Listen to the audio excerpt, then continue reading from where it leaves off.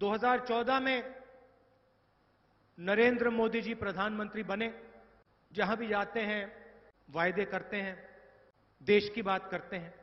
यहाँ रोज़गार की बात की, दो करोड़ युवाओं को रोज़गार दूँगा। अभी मुझे बताया गया कि उन्होंने कहा था, यहाँ भाषण में कहा था, किसान का नमक मैंने खाया है, मैं किसान की रक्षा करूँगा। कहा था? कहा था। अब देखिए सीआरपीएफ पर आक्रमण हुआ। सीआरपीएफ के जवान शहीद हुए। अपने पब्लिक रिलेशंस को, अपने पीआर को छोड़ नहीं सकते। ये हम में और उनमें फ़र्क है। आप मेरे भाषण सुनो, जितने सुनने सुनो। 2004 से मैं राजनीति में हूँ। कोई भी झूठा वायदा, एक झूठा वायदा मेरा निकाल के दिखा दो। एक एक बार मुझे दिखा दो। कि आपने वहाँ जाके ये कहा और वो आपने पूरा नहीं किया।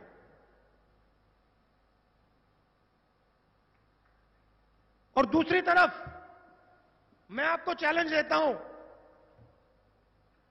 प्रधानमंत्री का एक सच्चा वायदा आप मुझे दिखा दो। उनके आप सब भाषण देखो, कहीं उन्होंने सच्चाई की बात की हो। जो उन्होंने कहा वो करा हो तो मुझे उस वीडियो क्लिपिंग का, मुझे भिजवा दो प्लीज़। मैं ढूंढ रहा हूँ, अभी तक ढूंढ रहा हूँ उसे। पूरे हिंदुस्तान को कहा, पूरे हिंदुस्तान को कहा, देखो, दो करोड़ युवाओं को हर साल, दो करोड़ युवाओं को हर साल मैं रोज़गार दूँगा।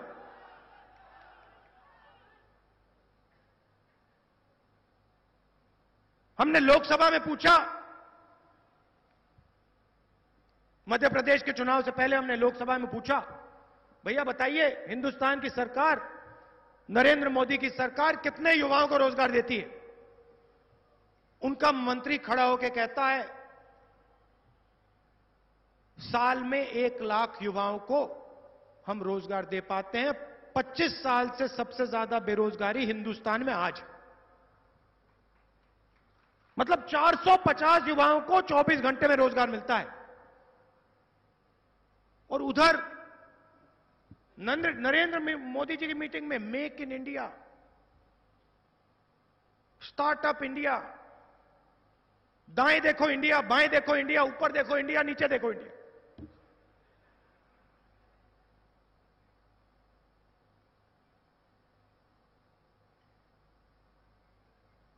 वायुसेना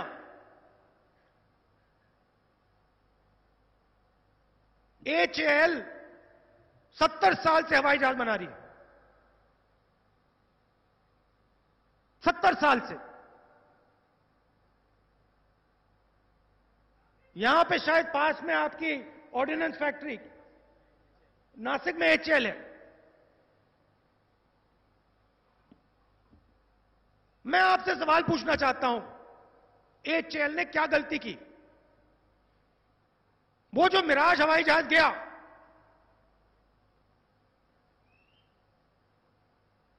जो सुखोई हवाई जहाज़ हिंदुस्तान की रक्षा कर रहा था, वो क्या अनिल अंबानी ने बनाया था?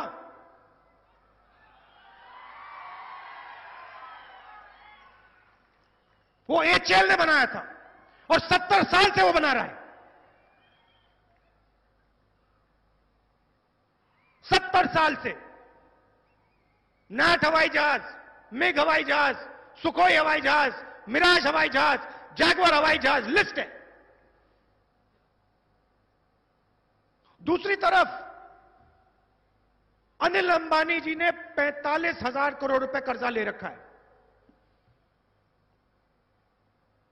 एचएल ने तीन हज़ार करोड़ रुपए सरकार को वापस दिया है।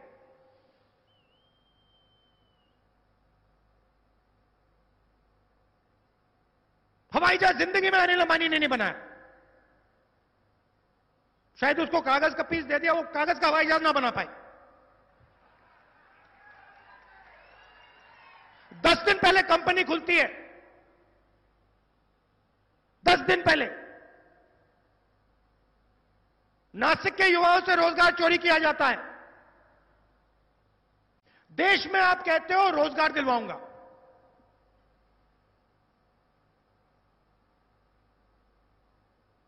रोज़गार के लिए जो छोटे उद्योग चलाते हैं छोटे छोटे दुकानदार, जो छोटी फैक्ट्री चलाते हैं, मिडिल साइज़ बिज़नेस जो करते हैं, उनको बैंक लोन की ज़रूरत होती है।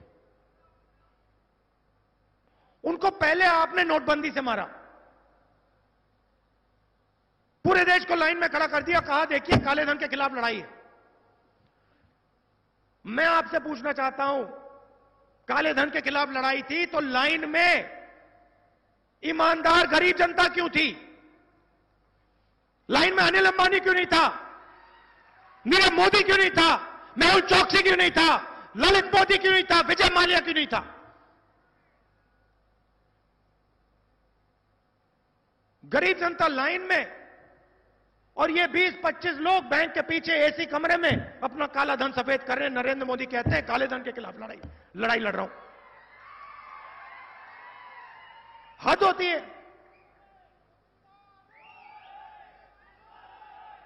उसके बाद उसके बाद कहते हैं 12 बजे रात को कहते हैं, चलो गब्बर सिंह को लाते हैं जीएसटी लाते हैं। तो आप 15 लोगों का साढ़े तीन लाख करोड़ रुपया कर्जा माफ़ कर सकते हो।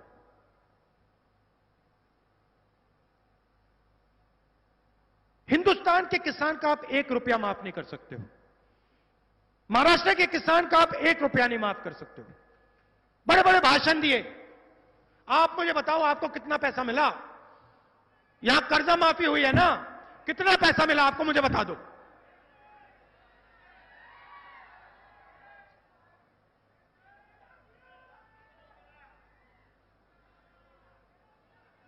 चीफ मिनिस्टर के भाषण, मोदी जी के भाषण।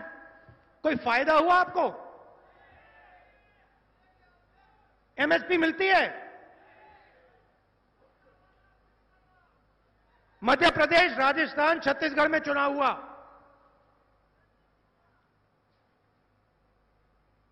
हर मीटिंग में मैंने कहा, देखिए, बाकी सब कुछ आप छोड़िए। मैं आपको एक गारंटी देता हूँ हर भाषण में कहा, दस दिन के अंदर मध्य प्रदेश, छत्तीसगढ़, राजस्थान में आपका कर्जा माफ़ हो जाए यह मैं आपको गारंटी देता हूँ। और मैंने यह भी कह दिया, छत्तीसगढ़ में मांग थी, मैंने यह भी कह दिया, देखिए, कांग्रेस पार्टी की सरकार आएगी, धान के लिए आपको 2500 रुपए मिलने शुरू हो जाएँगे। और मैं गर्व से कहता हूँ, दस दिन नहीं लगे, दो दिन के अंदर कांग्रेस पार्टी ने काम कर दिया। उधर पंद्रह साल से मतलब भाषण चल रहे हैं। नहीं कर सकते, पैसा नहीं है, पैसा है, हाँ, ना। वो तीन चीफ मिनिस्टर ने दो दिन में काम करके दिखा दिया।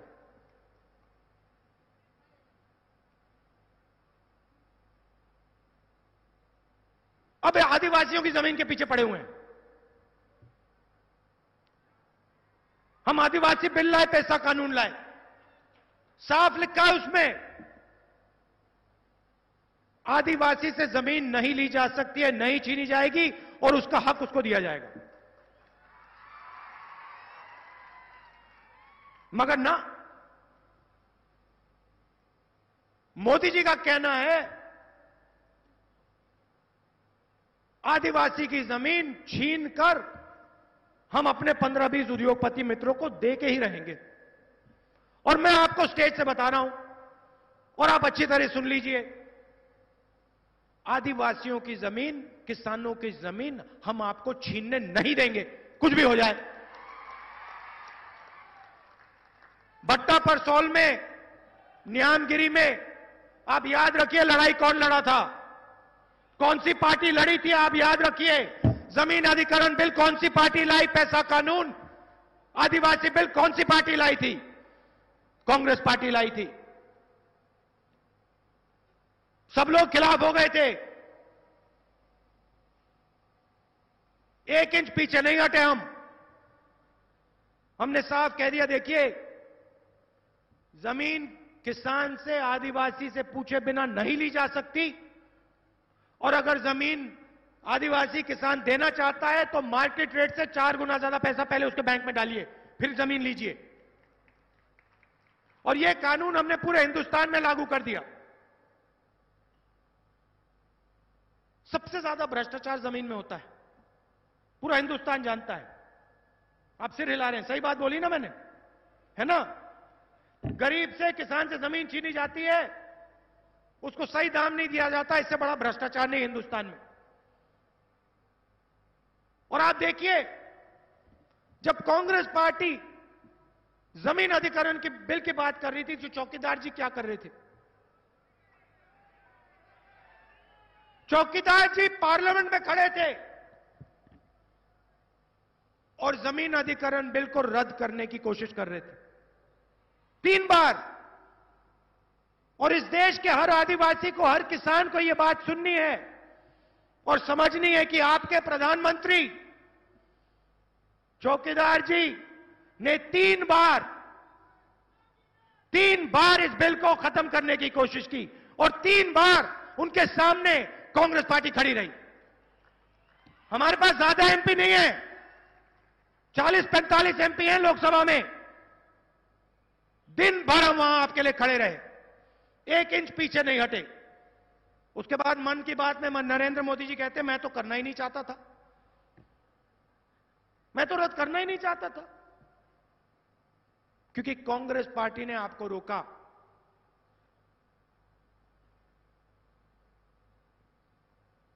मुझे चौकित, मुझे प्रधानमंत्री नहीं बनना। मुझे चौकीदार बनना है। चौकीदार बनाओ।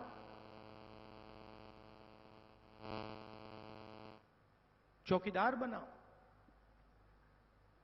और फिर सीधा तीस हज़ार करोड़ रुपए अनिल अंबानी जी की जेब में।